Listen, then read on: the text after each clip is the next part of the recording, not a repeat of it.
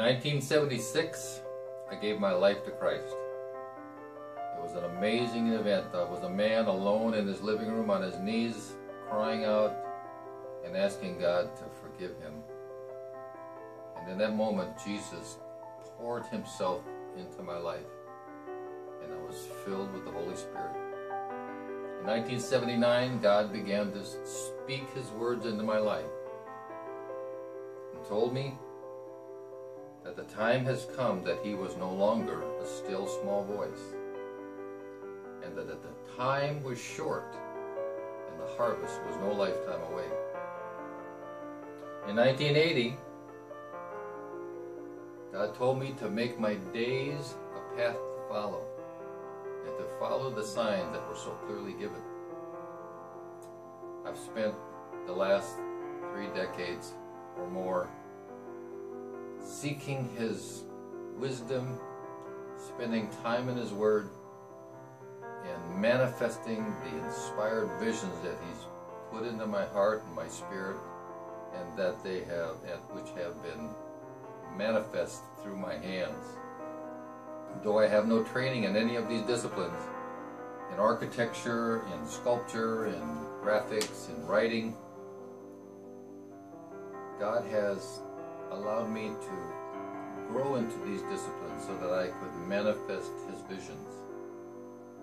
In 1988, God spoke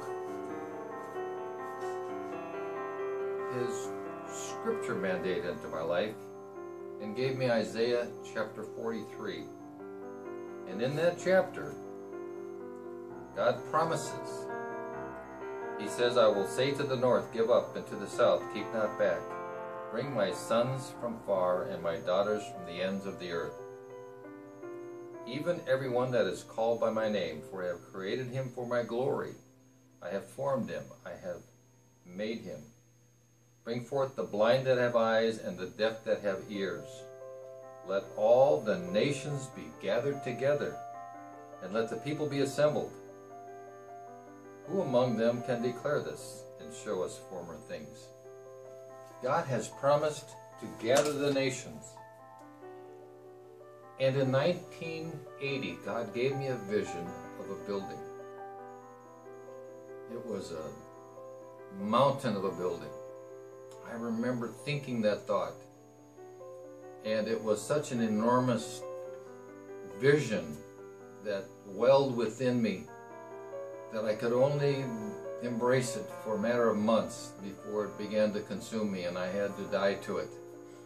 And for 20 years, it was lost, and I didn't even remember it until 19, uh, two, in the year 2000. I mentioned it to Sheila, my wife, and she said, well, let's pray about it. And so uh, she she did. She prayed about it and uh, and asked for a sign that if this truly was of God, that He would bring a confirmation.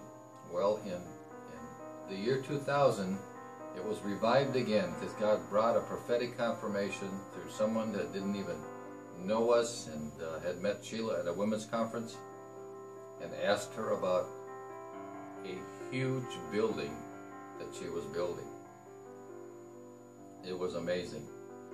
And I spent uh, I spent uh, several months just preparing and thinking about it again, and and uh, I began began getting pregnant with this massive worship center, and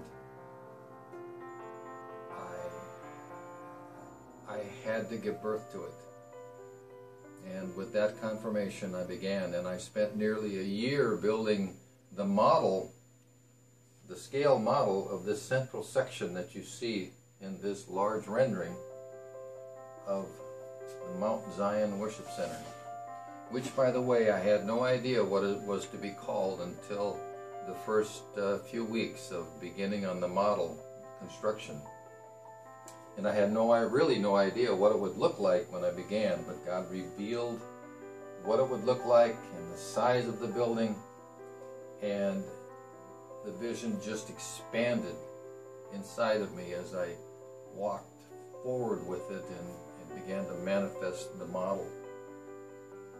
And what you see is just one side of a four-sided building.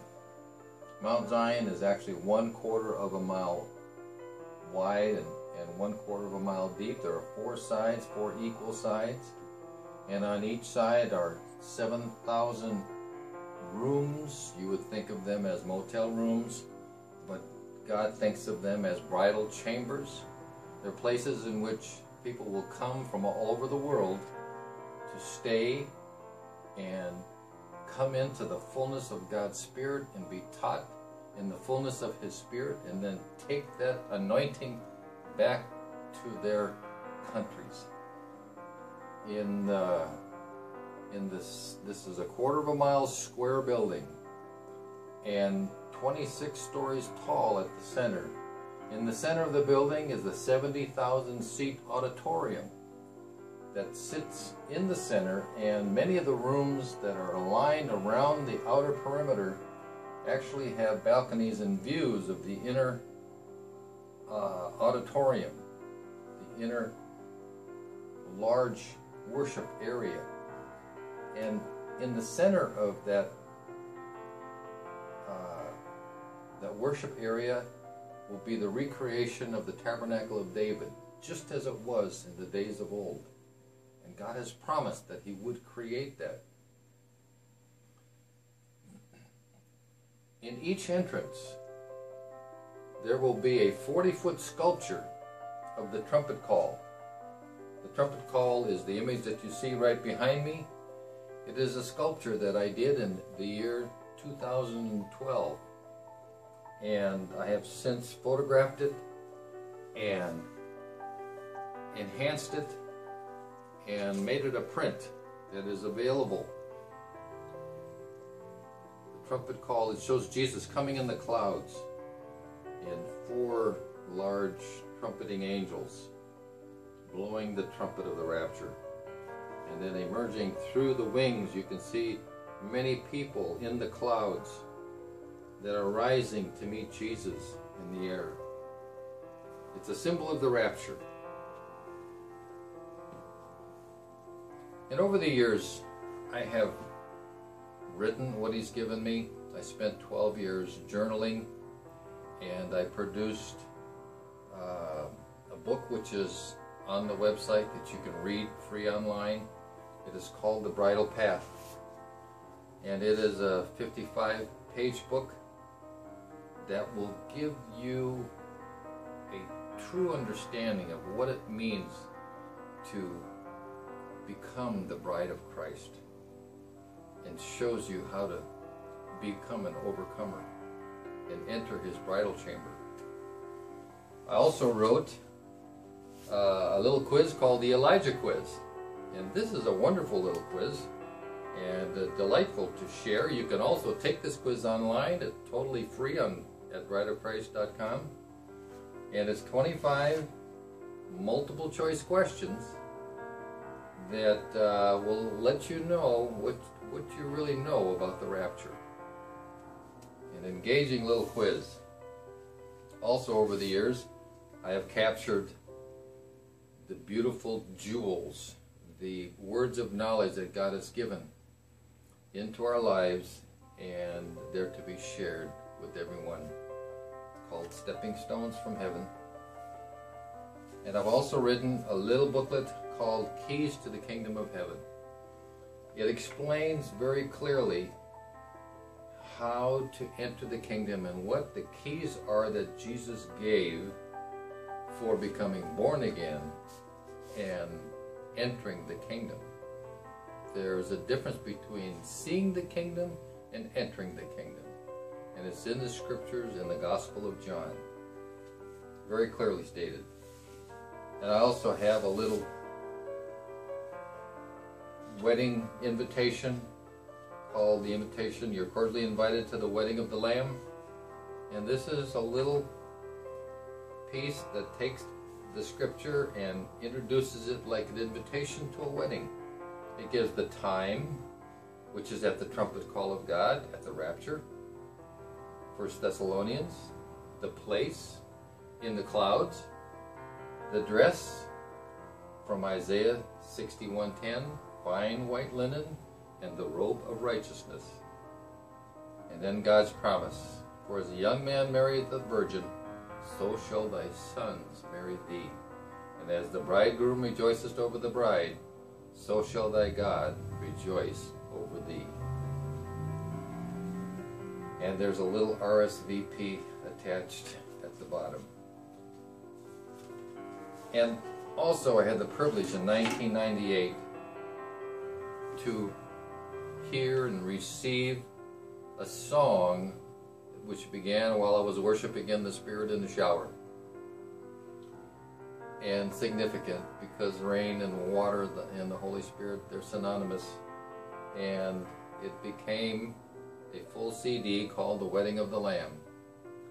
And it is a song that is given away on the website also. You can hear the entire CD. But it is part of the Mount Zion Manifesto Ensemble, which I invite you to become a part of and help bring into existence to allow God to fulfill his last day's mandate.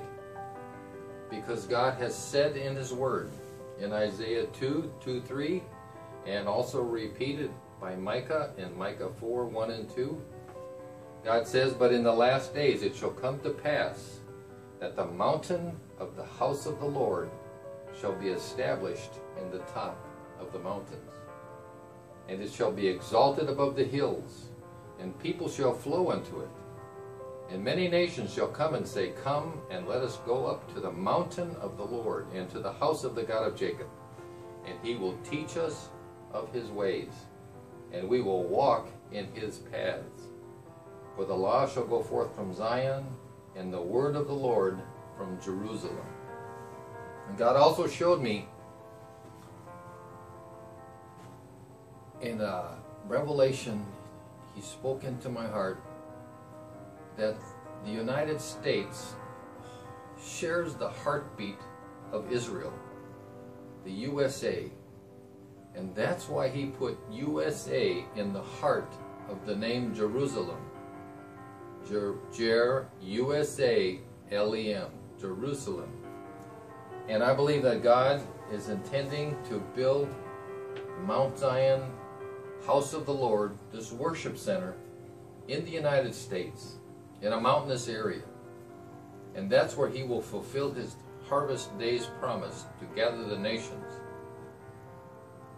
and teach his paths and prepare his bride.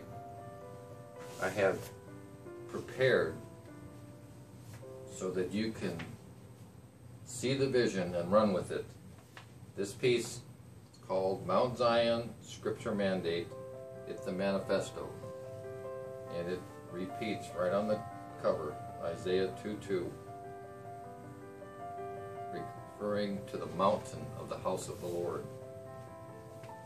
And this brochure gives the story of the creation of the piece it gives the scripture references, God's promises in His Word, the promises that He spoke into my life, the words of knowledge, which He told me are there to be claimed by those who come alongside me and help prepare this promise for the harvest.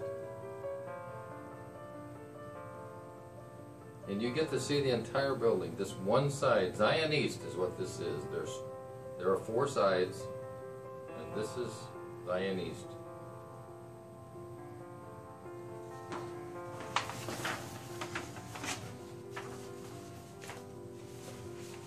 It's a privilege to be able to share such a wonderful vision and to be a vessel that God has used and allowed me to develop my talents. But He told me way back in the beginning that he was my talent and that everything was to be for his glory. Everything for his glory. Not just edifying, but total, absolute glory.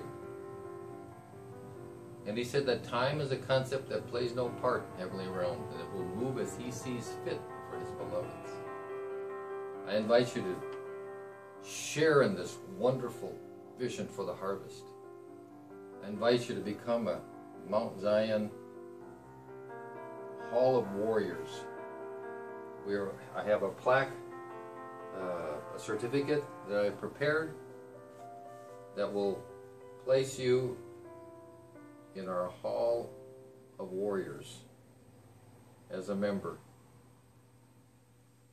And you can see it right there. That comes with, with all of this when you become a member of the Mount Zion Project. I thank you and God bless you.